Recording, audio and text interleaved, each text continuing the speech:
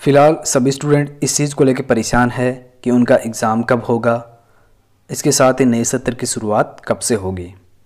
तो दोस्तों, मैं आपको बताना चाहूँगा कि यूजीसी लगातार प्रयास कर रहा है, चाहे वो एंट्रेंस एग्ज़ाम देने वाले स्टूडेंट हो या फिर सेमेस्टर एग्ज़ाम वाले स्टूडेंट हो।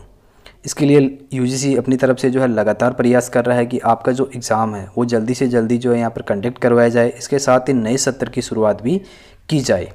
तो इसके लिए देखिए, यहाँ पर यूजीसी ने ये नोटिफिकेशन रिलीज़ किया है 25 अप्रैल को। लेकिन मैं आपको पूरी प्रोसेस बता देता हूँ।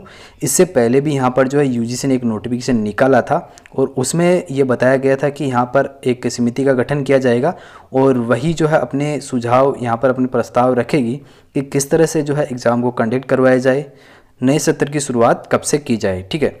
तो इसके रिगार्डिंग पहले इस समिति का गठन किया गया था और इस समिति ने जो अपने सुझाव यहाँ पर रख दिया है, यानी कि यूजीसी को ये सुझाव दे दिया है कि आप ऐसे कर सकते हो, ठीक है?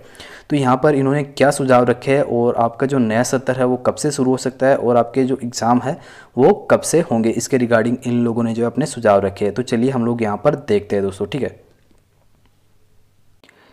तो दोस्तों, यहाँ पर हम लोग देख पा रहे हैं कि इन लोगों ने बताया है कि सितंबर माह में नए सत्र की शुरुआत हो सकती है और जुलाई में जो है आपका एग्ज़ाम हो सकता है, ठीक है?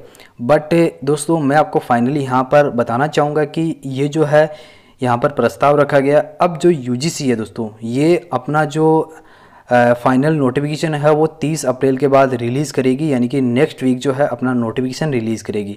अब हो सकता है कि उसके अंदर ये जो चीज़, ये जो अभी सिफारिश की गई है, यानी कि सितंबर माह से नए सत्र की शुरुआत हो और जुलाई में एग्ज़ाम हो, ठीक है?